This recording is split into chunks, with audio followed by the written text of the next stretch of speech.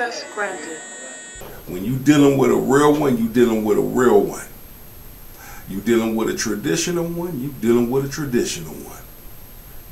And what happens when a real traditional one bring heat to your ass? Peep this out. be a totally 110%. I think I didn't find my husband yet because all the women expectations is really having the men go into a hole. Because who the hell is y'all to say y'all want a man that make 500000 a year? And when he got laid off, we found a way because I was determined to have his back like I would expect him to have mine had I got laid off. And that's exactly what happened. I had his back until he found another job. Dumbasses. And they let it be known that they're dumbasses the moment they open up their mouth. These unrealistic high expectations is keeping them without a man. Now we could play devil's advocate if you want to. All right, let's go on ahead and play devil's advocate. I love it when a woman keep them high standards and talk like that. Continue to do that. Continue to let men know what type of woman not to choose. Continue to let men know we need to stay away from your ass. Even a high value man will know not to choose you to stay away from your ass. Look at your character. Look at how you carry yourself. Look at how you market yourself.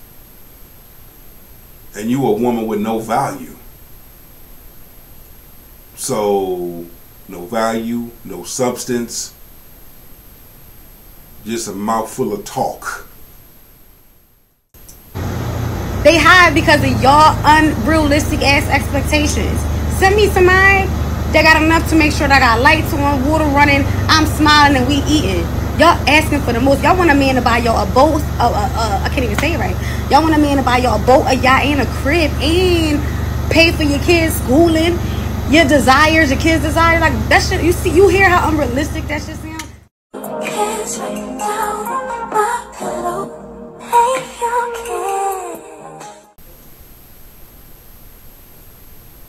Let me just say this and make this uh, public service announcement very, very clear. If a man is making forty thousand a year, starting, that means that man has the ability to make more.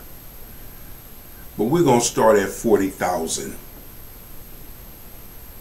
His bills is paid. He's able to save. What he gets, he buys. He has no drama. He lives in li- he lives his life in peace. He has peace of mind. He's able to travel and do the things that he wants to do to to live his best life. He has no no issues, no nothing, no baggage.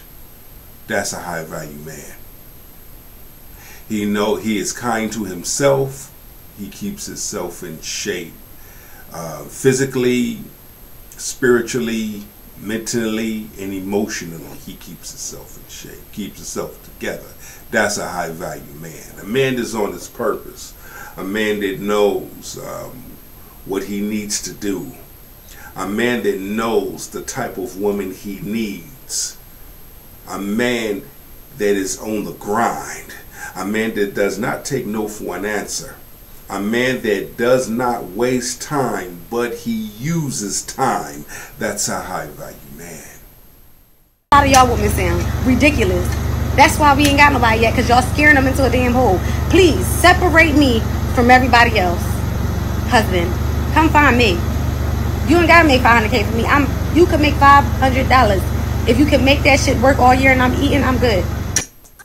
Seven, eight, yeah,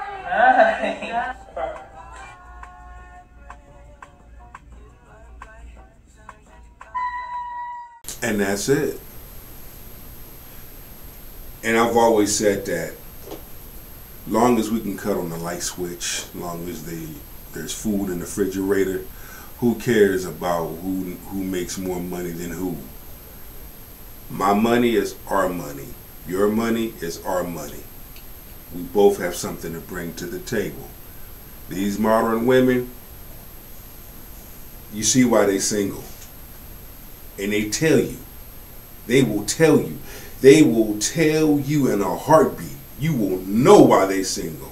The moment they open up their damn mouth. With that being said, go live your best life, the best version of your life, for many to see. Success is yours, men. Success is yours, ladies. Go get it.